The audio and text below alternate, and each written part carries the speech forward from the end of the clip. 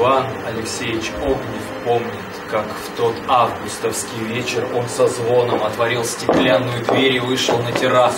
Иван Алексеевич Огнев помнил, как в тот августовский вечер он со звоном отворил стеклянную дверь и вышел на террасу.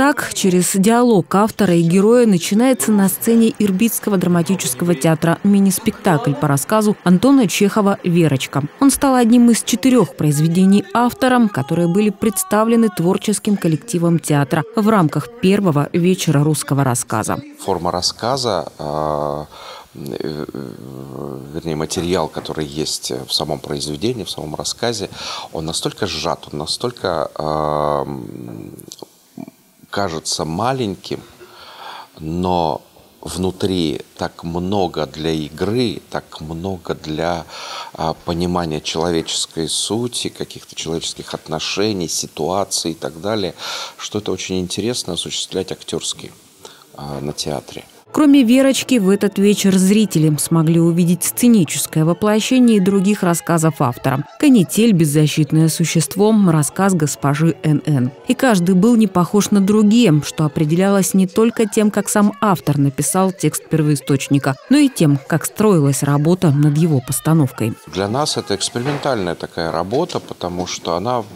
в основном строится на самостоятельном творчестве актеров. Актеры э, сами предлагали материал в большинстве своем.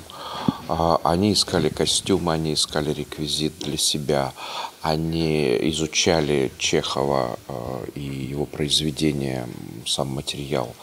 А, мы шли к показу, через тренинг, через упражнения, через этюды. Ну а что получилось у творческого коллектива театра, зрители еще смогут оценить в январе, когда пройдет премьера спектакля. Ведь в этот вечер показ был предпремьерным и благотворительным. Собранные здесь средства Ирбитский драматический перечислил своим коллегам, актерам Серовского драматического театра имени Чехова, которые недавно попали в чудовищную автомобильную аварию. Ну а проект вечеров русского рассказа, только творчеством Антона Павловича ограничиваться не будет. Актеры будут представлять инсценированные рассказы того или иного автора, да, будут читать эти рассказы, будем обращаться к письмам, воспоминаниям, творчеству самих авторов. Да. Актеры уже поняли вкус, а, уже поняли формат, как это все будет происходить.